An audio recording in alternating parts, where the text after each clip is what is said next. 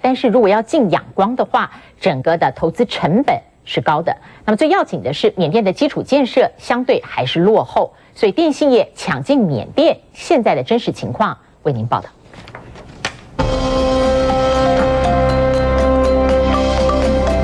缅甸金碧辉煌的大金塔出现在精致的旅游广告当中，透过 CNN 在全球播放。缅甸政府宣告要开放门户，向旧时代告别。政府积极向外资招手，电信业者首先抢滩。Myanmar is the last untapped mobile phone market in the world. Uh, right now, about 10% of the population has phones. That's both a big opportunity, but also a major challenge. With poverty, uh, such as it is, uh, we have to ask realistically how many people can actually afford To buy cell phones and get on the internet. 南韩三星在仰光开了第一家店卖手机，卡达和挪威的电信公司也先后进驻。这些外国公司认为，最大的风险不是花钱建设，他们最担心的是网络开放后，现在的军政府对人民言论自由的容忍度会影响公司的营运。How much are you selling this car for? Uh, it's 70, 70, yes. Seven zero, seventy thousand. Yeah, seventy thousand US dollar, yeah. 物以稀为贵，缅甸的进口轿车卖的可是天价，日系品牌的轿车是美国售价的五倍。福特率先挺进缅甸设厂，尼桑随后跟进。This is a country with 60 million people, which has practically no car industry, uh, which is importing mainly used car. 尼桑在当地提供了三百个工作机会，预计每年将生产一万辆汽车。不过，不是所有的企业都敢带着钢盔往前冲。They look, they listen, they learn, and then they leave. And so there is a concern that actually it won't happen, that people are just turning up, looking, investigating the country, saying really it's too early or it's not worth it. 吓跑投资客的最主要因素，首推基础建设落后，缅甸经济才刚刚转型，还有国内的宗教冲突是社会不定时炸弹，加上缅甸的政治改革才刚刚开始，不确定性太高，外资暂时观望，缅甸政府只得靠观光和成衣出口自力救济，但缅甸廉价竞争优势恐怕维持不了多久。Number of Chinese companies are debating should we be moving some of our garment mac- manufacturing that we currently do in China, should we be moving it to Myanmar, or should we be actually saying Let, let's move it straight to, to Africa where there's a long term demographic benefit? 春江水暖鸭先知，缅甸的房地产率先预告了经济前景。仰光市中心的房地产价格今年已经涨了将近四成，饭店房价上涨了百分之六十五，涨幅居世界之冠。 Property prices and rents are now so high here that they rival New York and Hong Kong. Yes, New York and Hong Kong. It's hard to believe, but local businesses say that they've now had to move out of prime locations like this one. 大企业进驻黄金地段，小吃店要被赶进小巷子，而另一种迁徙也即将在农村发生。缅甸绝大部分的农业人口未来也将朝都市迁徙，才能让经济繁荣。预估至少需要一千万人。外资企业表示，二零一五年的大选，缅甸政府如果能够拿出更多的开放政策和决心，缅甸将会是继泰国和新加坡之后又一个东南亚奇迹。TVBS 新闻综合报道。好，接下来 Focus 每周被称为欧记鉴宝的评价医疗法案，是美国这几天的大热门网站，用挤爆了形容非常贴切。CNN 的记者说，他自己试了两个星期才挤得进去，能够登记。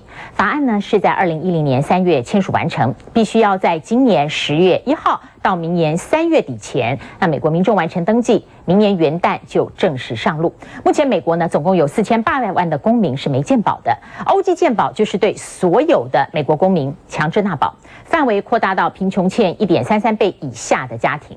目的呢是说要让所有美国人都能够有负担得起的健保照顾，而整个预算就是这一次呢两党。倾轧的一个原因，因为会持续增加，未来十年全美纳税人要多付五千亿美元。另外，二十六岁以下成年人如果还没工作，就透过父母纳保。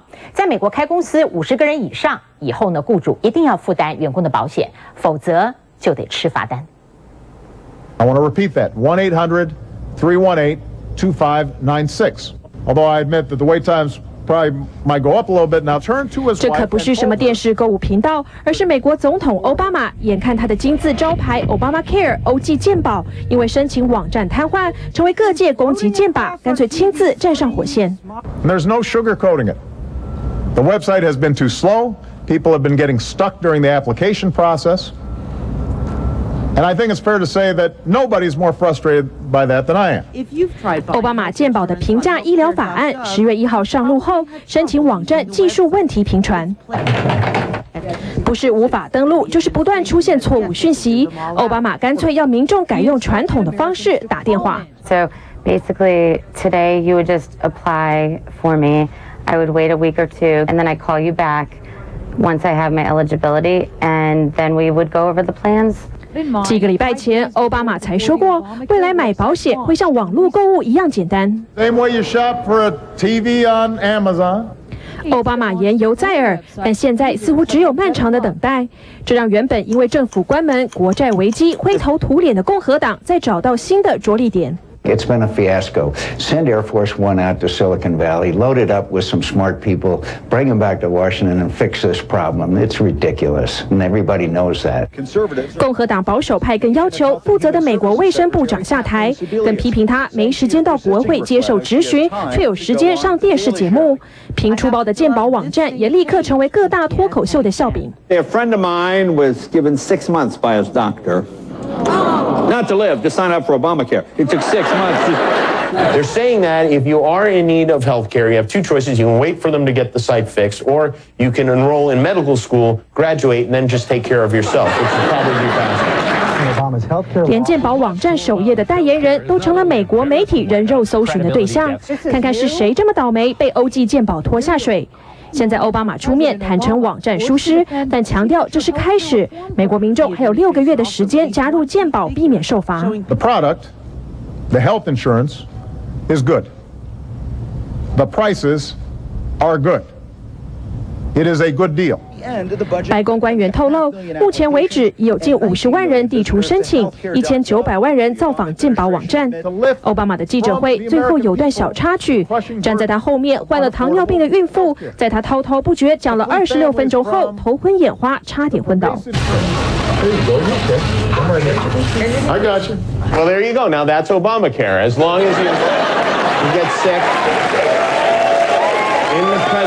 Of the president, you're covered. TVB 新闻综合报道。还是觉得奥巴马是全球最有权力的人吗？还是觉得是麻烦最多的人？好，我们接下来 focus 英国。英国现在的热门话题是什么？要追上的话，那就是英国宣布新建1995年以来第一座核子发电厂，这是日本福岛核灾事件之后全欧洲第一座还要新建的核电厂。这个核电厂总共要花一百六十亿英镑，换算台币要花七千六百。亿来新建，预定二零二三年开始运作，它会占英国总的发电量的百分之七。预估可以提供英国七百万户人家的用电。不过最争议的是，这个核电厂是由英国、法国跟中国一起合作。英国的财相奥斯本这次是利用访问中国大陆的时候，刻意宣布，他让中国公司进入英国核电业，和法国的电力集团 EDF 合作。核电是具有高度敏感性的国家工业，让中资至少持股超过百分之三十到四十，引发非常多的议论。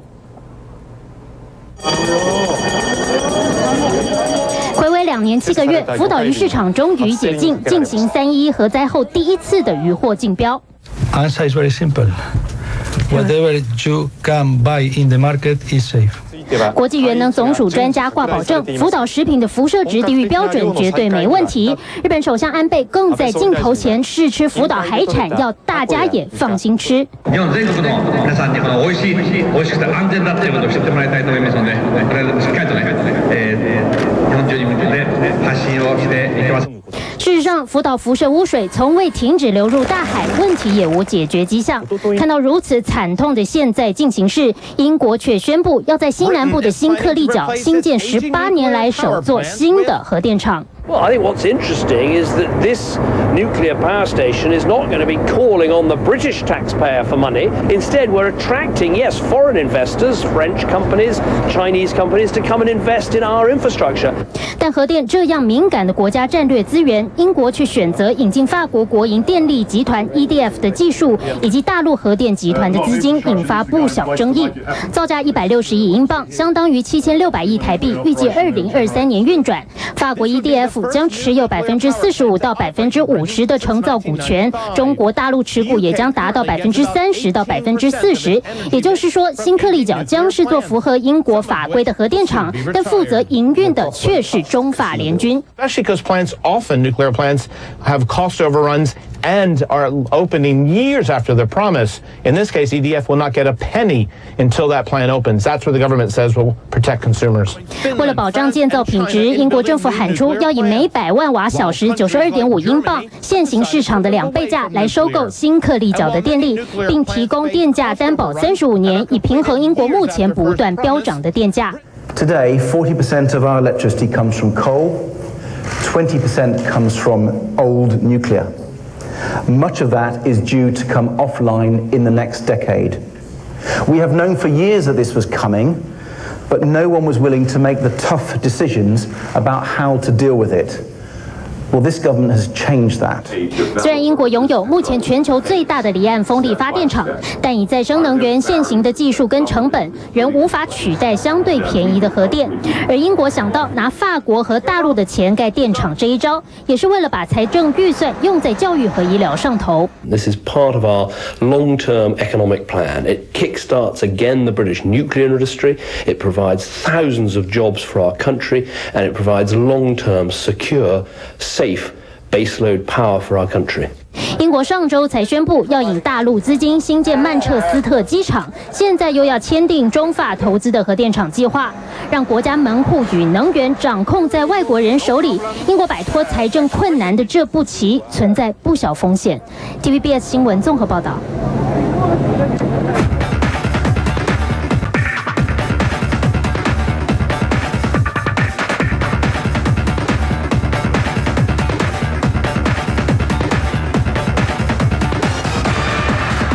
美国又发生令人遗憾难过的校园枪击重大案件，这次是在内华达州的斯巴克斯中学。这次是才十三岁的学生拿了爸妈的手枪到学校开枪。当时有个数学老师为了保护学生挺身而出，劝这个十三岁的孩子放下枪。没有想到学生立刻开枪丧命，枪手十三岁的孩子也饮弹自尽。最后的悲剧结果两死两伤。平静校园突然涌进一堆警察，指挥学生赶快背书包离开。接到消息的家长赶到学校，整个校园弥漫紧张气氛。美国内华达州斯巴克斯中学二十一号上午七点多惊传枪响，造成两死两伤，凶手竟然是一名十三岁的学生。I was just talking with my friends, and then I just heard this bang. I thought that was gonna be my last day.